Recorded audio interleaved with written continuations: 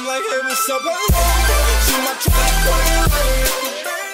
morning guys and welcome to my new video. Pada Januari 2017, Samsung telah melancarkan A-line mereka yang tahun 2017 iaitu A3, A5 dan A7. Dengan secara khususnya mereka telah mengupdate A-series ni ataupun A-line ni untuk spek pada tahun 2017. Pada mulanya aku tak rasa yang Samsung mid-range ni sangat menarik. Mungkin disebabkan tiada kelebihan ataupun spek yang dapat memberi keunikan pada smartphone tu. Tetapi tidak pada tahun 2017. Samsung mengambil langkah drastik dengan membuat smartphone mereka rasa seakan premium pada mid-range smartphone. Ya, mungkin Samsung mensasarkan pada tahap itu dan berjaya menarik perhatian aku kepada mid-range mereka. Dengan kualiti dan material luaran yang seakan Samsung Galaxy S7 Edge rasanya solid dan mahal. Mungkin disebabkan kaca yang digunakan berbanding sebelumnya iaitu aluminium. Di sebalik rasanya yang agak premium tetapi let's be real. Kaca mudah pecah dan salah satu benda yang korang kena beli bila ada smartphone ni adalah casing. Kaca yang digunakan pada Samsung A series ni nampak lagi nipis daripada S7 Edge. Mungkin nak jimatkan ruang ataupun material yang lagi murah daripada S7. Tapi itu sudah biasa untuk mid-range smartphone. Dan jangan sesekali anggap yang kaca pada smartphone ni kukuh dan tidak pecah.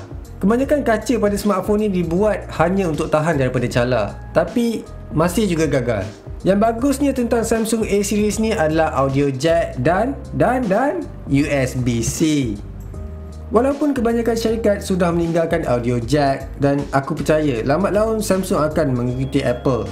Kita tunggu dan lihat saja. Ya, memang sebelum ni Samsung Note 7 adalah device pertama tapi ianya sudah ditarik balik dan S7 masih menggunakan micro USB. Bertukar kepada USB-C adalah suatu langkah besar untuk kita serap dan contohnya aku memakai Nexus 6P dan hari tu aku ada update dekat Twitter yang aku susah nak cari kabel untuk USB-C untuk aku charge dekat office aku dan aku dapat jumpa tetapi susah dan harganya pun mahal iaitu RM40 untuk kabel yang tak original harga RM40 bagi aku agak mahal. Tetapi ianya teknologi yang bagus untuk masa depan. Okey, ingat Samsung A series ni adalah mid-range smartphone kan? Spek pertengahan. Tapi Samsung telah membuatkan A series ni kalis air IP68. What? Ini bermakna standard Samsung sudah semakin tinggi. Dan kalau korang tengok mana-mana jenama, tak banyak yang buat kalis air pada mid-range dan ini memaksa jenama lain untuk mengikuti jejak Samsung jika nak terus bersaing dalam membuat smartphone yang bagus. Kejam kau Samsung.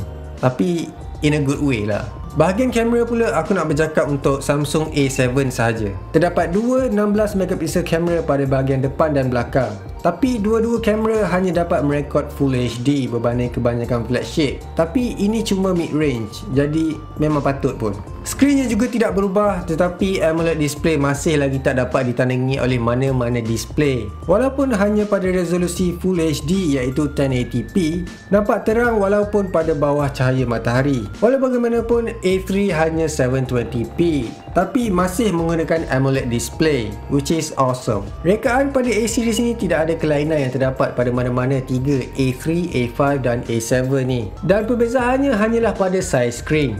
Nampaknya Samsung lebih fokuskan design minimalis. Speaker juga telah dialih pada sebelah kanan. Samsung mengatakan yang kedudukan speaker ini lebih sesuai ketika mendengar muzik dan bermain game kerana most of the time gaming pada smartphone akan pegang macam ni.